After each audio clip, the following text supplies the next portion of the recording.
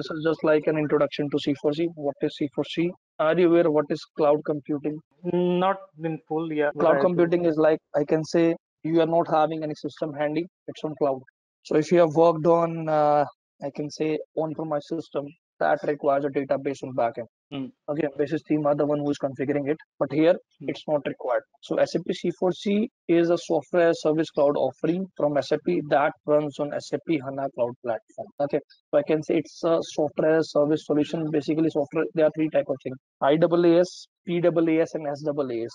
So you can Google it out. Uh, these things: infrastructure as service, platform as a service, and software as service. Software as a service means we don't have to invest much. Everything will be there on cloud we don't have to build any database thing we don't have to build anything so company what a company has to do is they just have to build uh, they just have to create their data centers and everything will be available on cloud so similarly sap has offered their sap is having a couple of data centers available so it's a software as a solution cloud offering that is provided by sap and that runs on how hana cloud platform HANA, I hope you are aware of HANA. It's uh, like uh, in-memory computing. Everything is available in the memory. That is, I can say, everything is available on RAM. To compare it with the traditional SAP system. This cloud CRM combines sales, customer service, and social selling tools, which enable sales representative to interact with customer in more meaningful ways and develop strong personal connections that allow for improved engagement across all communication channels. So basically, it means to say C4C. I mean, nowadays it's sales, service and customer cx i mean i have already told you and then social settings tool i can say we can integrate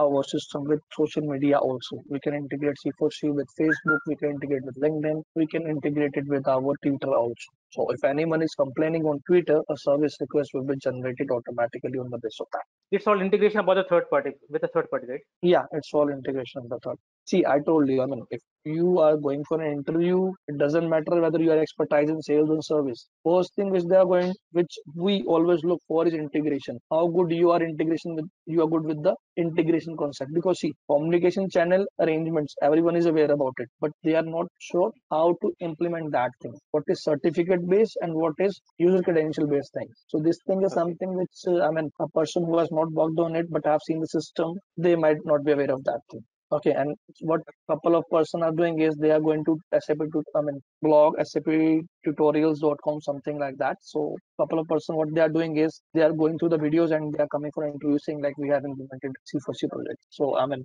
that's the thing I mean, uh, which is not a right thing which is available on that portal. But yes, I'll be telling you each and everything in detail, like what we have to do over there and what is the arrangements, how we can build, and what thing is necessary, and what is C. I mean, if you're not aware of CPI, what can be a CPI, what is HCI, what is PI. I will explain you these things also. Okay. Okay. Yeah, the, So the middleware, right? Yeah, the middleware. I will only be able to explain you the middleware part, but yes, I will not be able to guide you on that thing because, like, That, that's okay. not That's not our part. Yeah, that's not our part. Right? They, they have to do it. PI people or CPI person yeah have to do. PI people have to do but uh, what happens when you are working on a project like i can Mhm. say i know a couple of uh, juniors uh, who are working and they are having good knowledge on cpi also okay like they know how to debug the things. If something is failing in cpi they know how to debug it by performing a trace so these things are major things. I mean once you start working on it in actual term you will get the access and you can start working. Knowing the basics is something which is required. Yeah. okay so the next thing is SAP C4C focus focuses on an improved and easy user experience that is based on Fiori design principles. So basically, it's a Fiori-based client. code. So now this is like everything is just like how everything is on Fiori. You don't have to dig anywhere. That's the reason transport management came into a picture. Because like in Okay. HTML5, we are having an option to upload and download our layouts, but in Fiori, we are not having these things. So for that, and with client, I mean with the customer's demand, this thing came into picture. Okay. Uh, So but, if I but one talk minute, about. So, uh, so now we the layouts we cannot uh, download upload from one tenant to other tenant. That's what you're saying. we cannot download and upload it it's only transported Okay. and uh, one more thing the disadvantage which is there in i mean i will tell you and i'll working on that transport request now i'll be telling you these things over there Okay. so if we Yeah. talk about sap business suite this is like erp crm nowadays if you are aware and if you are aware of the market we're having s4 hana system ecc system is now no longer it's not in use nowadays we are having sap crm sap s4 hana system and initially we are having crm system that is also not there it's merged with S4 HANA system. Initially, it was introduced as a connector, but yes, in S4 HANA, everything is there now. When CRM is also there in S4 HANA. So you can consider it, it's like a ERP solution or CRM solution. It's a SAP Business Suite. So that is customer on demand cloud integration option. So that is integrated with our C4C solution, sales, social on demand, and SAP Cloud for System. This is an open platform. So if it's a standard one, it's an easy connected thing. So this is just like an overview how the things are connected. We can access C4C on our mobile, we can access it on our laptop, we can access it on tablet as well. So this you can say it's coming like a cloud. So it's a cloud base, and then this is just like an integration, which is act as a middleware in system. It can be a CPI, it can be HCI, CPI, and HCI are the same things, and it can be a PI. So this is our SAP Business Suite. Okay. Okay. Moving on to the next slide. This is like sales on demand is now SAP Cloud for Sales. So this is like browser based. We can access it on and this is a traditional version of C4C. I mean, this is like initially when C4C was was looking like that, but now it's very good tool. I mean, the look and feel is very good. Initially, when SAP was SAP was in very demand, but where SAP was lagging, it was lagging in front end application. SAP was not good in front end. So what happened slowly, slowly, SAP tried improving that. Initially, come, came into picture, and then SAP itself is selling out. So this is just like an C4C architecture, which is taken from a Google. So I mean, it's just I mean, if you compare it with this one, this is the same thing. Okay, it's the same thing as like this one. So it's like SAP Business Suite, customer on account, around integration, and this cloud based system. This is just I can say a C4C architecture. Okay. Okay. And then I was saying just Yeah, have a look at this picture so that I can move Okay, forward. I was waiting for Okay. you Okay.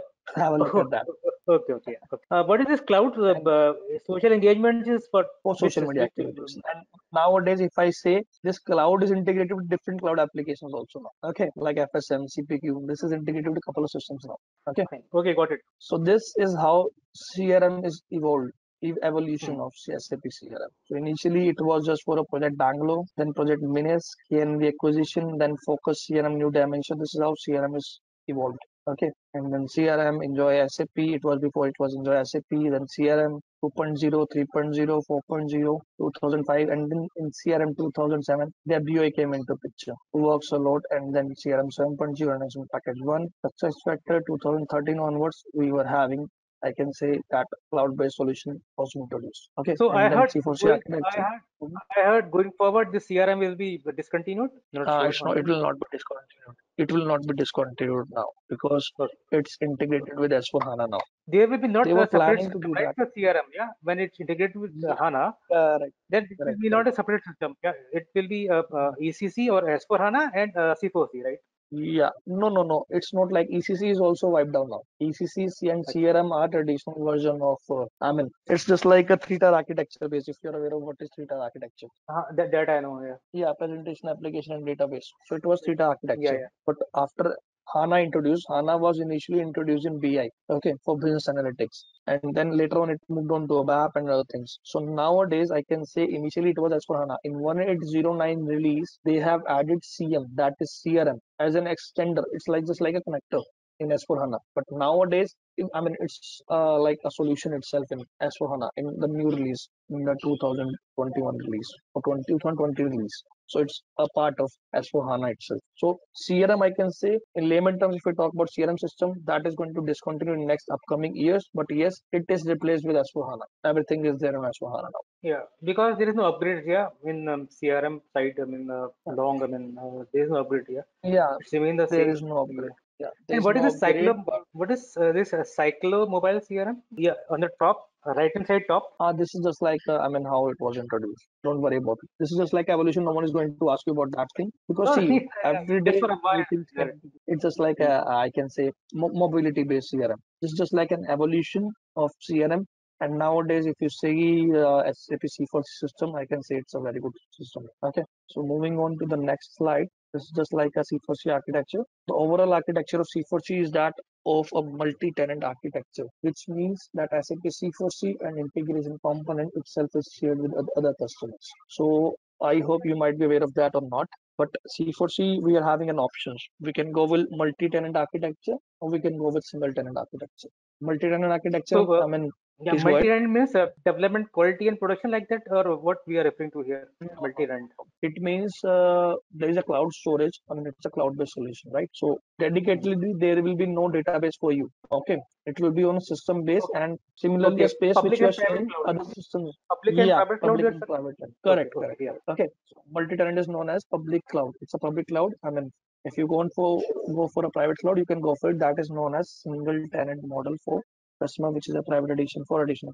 Okay. The multi-tenant model means that whenever SAP upgrade or release a patch, it might override some of custom solution built in on top of C4C solution. This is something I can say only 10% correct. Nowadays, these things are also handled automatically. Yeah, you means the custom okay. uh, things will override by the SAP upgrade, right? Yeah, I mean, no, no, I'm not saying that. See, what happened SAP C4C, if I'm talking about the technical part, that works mm-hmm. only and only on BO. If you are aware of CRM technical programming, that also works on BO, but that's based on ball programming. But here it's based on BO. So if everything is upgraded in BO, then we have to make changes to our custom solution. Okay, this is something which is referred to. The technical part, you don't have to worry about the, I mean, the functional part. This is handled by the technical consultants. This is the most common core uh, concern of customer going on with multi-tenant model. While the cloud push for standardizing customer, we still need the industry specific and company modification. So you don't have to bother about this. These things are handled nowadays. I mean, previously when C4C was introduced, this was a lot of things, but nowadays these things are handled automatically.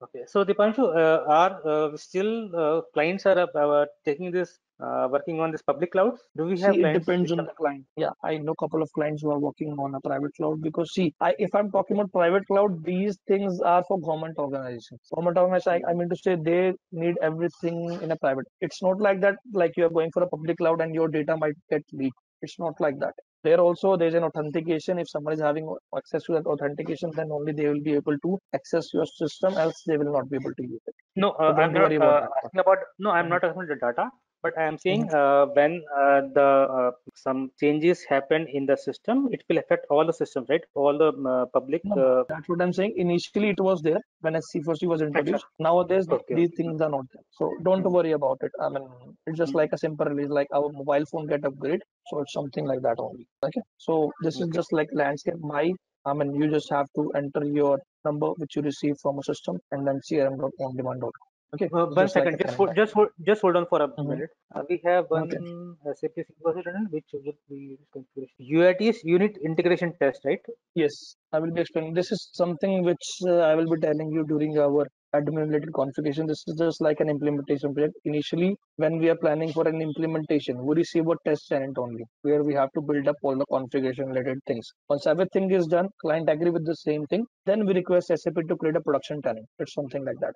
Okay. Just like a process, like how we are going, we have to set up our system. It's for that thing. Yeah. So initially, uh, SAP will give uh, one test and one production tenant, right?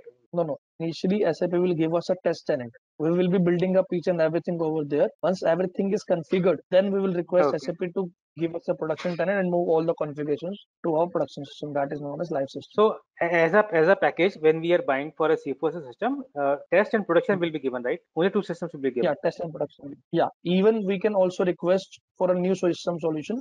I mean, for a new hmm. tenant, if required, we can request for a new tenant also. Yeah, yeah, okay okay. Okay. That is something which i will be guiding you well when i will be uh, showing you the system. I will be hmm. guiding you that part. Okay. so this is just like a tenant id my dash something like that and what's your on demand even this is also having some sort of unique id on backend that is something i will be showing you when we will be getting the system. And then this is like subscription and tenant. As a customer to implement c4c they would approach to sap for licenses and user credential for this, SAP would grant them space in the central server, and that space is referred to as a tenant. So basically, the meaning and definition of tenant is this. So just like uh, I mean, SAP, if we compared C4C and Salesforce, C4C licensing is very cheaper as compared to Salesforce licensing, the user license. Any idea how much they cost? They ask for, I mean, uh, per user uh, base or something like that? Per user.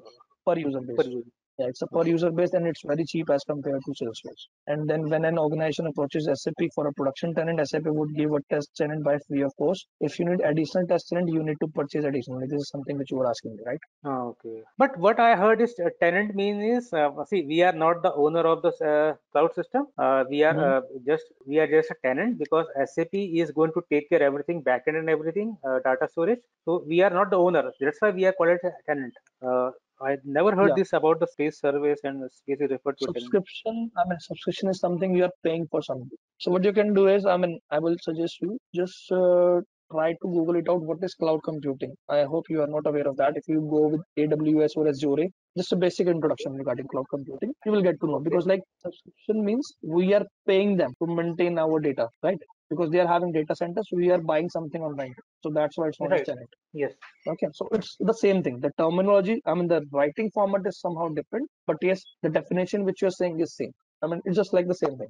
Okay. okay. So now, I mean, this is like type of tenant, public tenant, private tenant is something which are already aware of. And then I can say this is integration. How we can integration our CRM and C4C system. On-premise system, we are having PI, C4C, CRM, HCI, PI. I mean, this is like both we can replicate and then C4C, HCI, ERP. So this is like how we can replicate our system. Initially, when we are working on an implementation project, the major thing which we have to take care is our master data.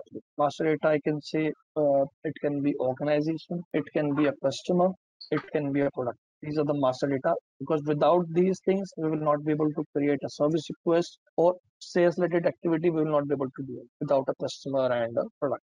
Uh, one more thing I want to understand in, in which scenario we use the HCI, in which scenario we use the PI.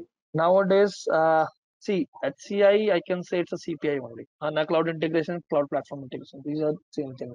Okay, and PI is like an older version. If any company is already working on PI, so they will go with the PI approach because CPI is bit costlier as I mean it's very expensive as compared to PI. And working knowledge on CPI consultants which are working on CPI that is also expensive as compared to PI and the speed of CPI is faster as compared to PI because PI is traditional version of system. This is just like uh, how the things are set up in system in cloud network and on-premise system, SAP Cloud Managed Services, cloud for customer tenant P, and this is like cloud integration. This is like a middleware, how the things are done. There's single sign-on layer also, proxy, reverse proxy. So it's something which when I will be sharing with this PPT, so you can have a look at this.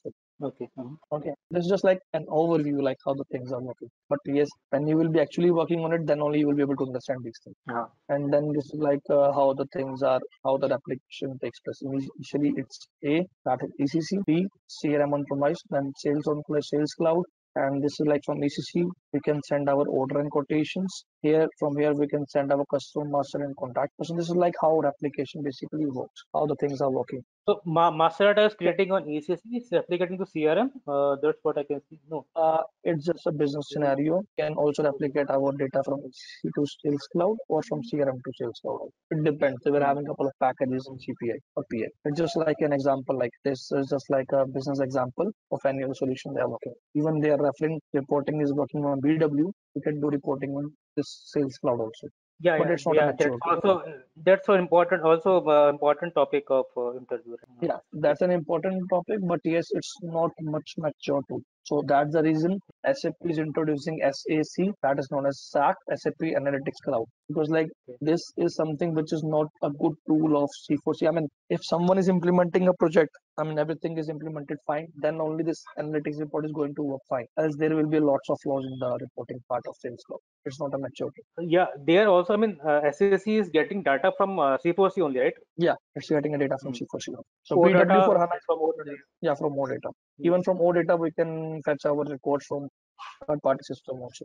And then this is sales cloud. So i mean this is just the things which i will be discussing these things with you later on like what will be there in sales cloud what will be there in service cloud what will be there in cloud engagement and solution capabilities. So before that i mean if you are having a tenant handy that will be very helpful because i will be showing you the things over there. Yeah, that I will confirm you.